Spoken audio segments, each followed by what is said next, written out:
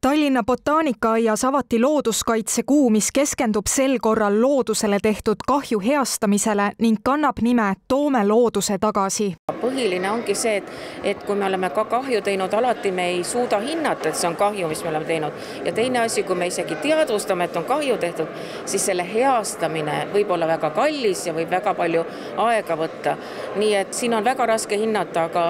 mina olen ikka öelnud niiviisi, et mida kiirem on ja intensiivsem on majandus, seda rohkem me peame pöörama loodusele, et kõike tasakaalus hoida looduskaitse teemadest teadvustab inimesi pidevalt ka Tallinna botaanikaaed, kus toimuvad aastaringselt erinevad harivad sündmused. eriti Tallinna linnas on väga suur roll, sest ma ikkagi usun, et see on üks, üks esimesi kohti, kuhu inimene läheb, kui teda huvitavad taimed, noh, meie tegeleme siin ennekõike taimeliikide, taimekooslustega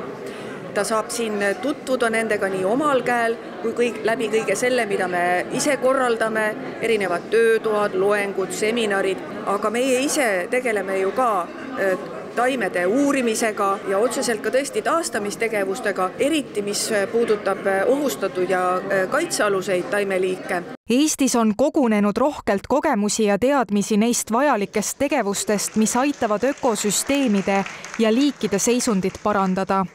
looduskuu avamisel anti pidulikult üle ka looduskaitsepreemiad, sealhulgas Eesti looduskaitse kõrgeim tasu Kumari preemia, mille pälvisid Aleksei ja Kaja Lotman. see oli väga suur tunnustus ja väga suur üllatus, sest et eh, ma olen ikka kogu aeg, kogu elu arvanud, et eh, need on väga auväärsed inimesed, kes sellise tunnustuse saavad. Tallinna Keskkonna- ja Kommunaalameti looduskaitse juhtivspetsialist Meelis Uustal pälvis linnalooduse uuringute ja kaitse eestvedamise eest looduskaitsemärgi. tuleb eh, kindlasti meeles pidada, et ka linnas on loodus olemas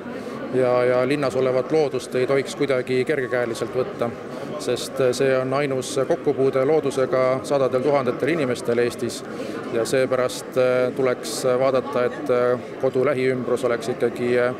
roheline, oleks elurikas. Tallinna botaanikaaia looduskuu sündmustel saab pilku peal hoida nende kodulehel